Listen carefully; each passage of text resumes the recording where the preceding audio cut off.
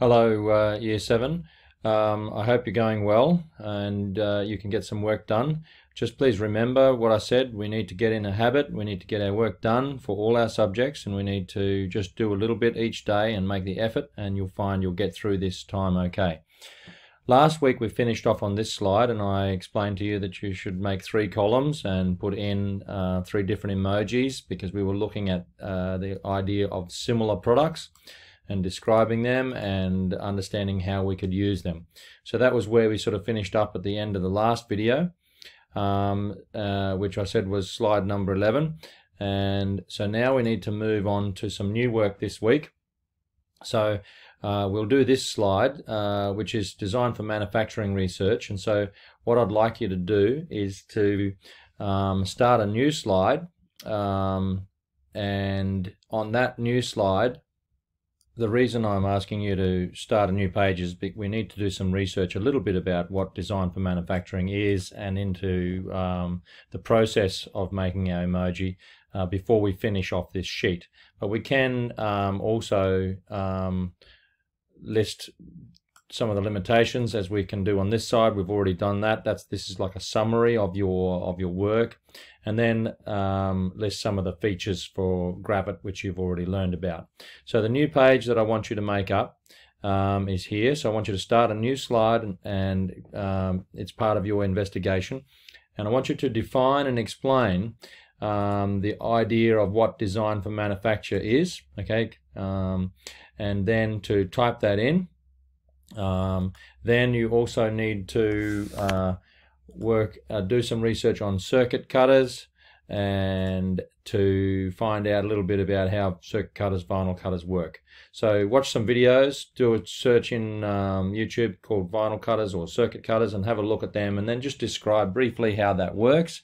Uh, maybe throw in a picture or two, summarize that and that'll be fine. So then you can come back to this page and you can describe the process so far. So what we uh, what we did, what we learn about, how we learn it, and uh, do I understand um, communication, for instance, in a, in a different way. So that's uh, sheet 12, and we're adding another sheet there. We're not going to do emotive charades as such, but I am going to do it in another manner. So there's a second task that I've put in here for you. So in your Google uh, Classroom, there is now a um, a post called Emotive Charades. And in there, I've asked you to take two still pictures of yourselves, a selfie if you like, uh, but showing a particular emotion. Okay, and then you should upload it into here. And then uh, you should do that at least uh, twice, two, two different pictures of yourself. And then uh, I want you to comment on three other people's photos. Okay, so um, try to guess what we're doing here is we're playing a game, we're guessing what the other person's emotion is. And then what you can do is you can use those images that you that you post up there to move on to this next slide. And you can uh, put those cut and paste your emoji charade pictures in here. And also the results. See if you know the results would be did people understand what my um, face was no it didn't etc Okay, so we're going to play that game. You'll upload those things in here, and then we will uh, summarize the results from that on this page. The last thing we'll get you to do this week is to basically finish off criterion A, and we'll do some design work uh, next week. Okay, we'll start into design work. Uh, straight away, but we'll just finish off this one. You'll come to this last page here and you'll get these lines of inquiry suggestions from way back up at the top of the assignment um, here where we're saying, uh, you know, here's our task and here's our inquiry questions. And these are the inquiry questions we'd listed.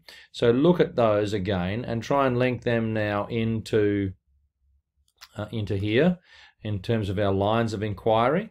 Uh, you can guess that if you need to. It'll be interesting to see what you say and, and what you're learning.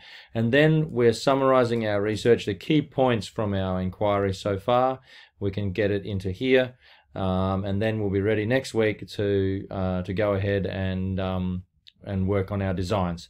So please work hard, um, and then I'll be able to send an email home to your parents saying you're doing good work, and um, get in a routine. And good luck.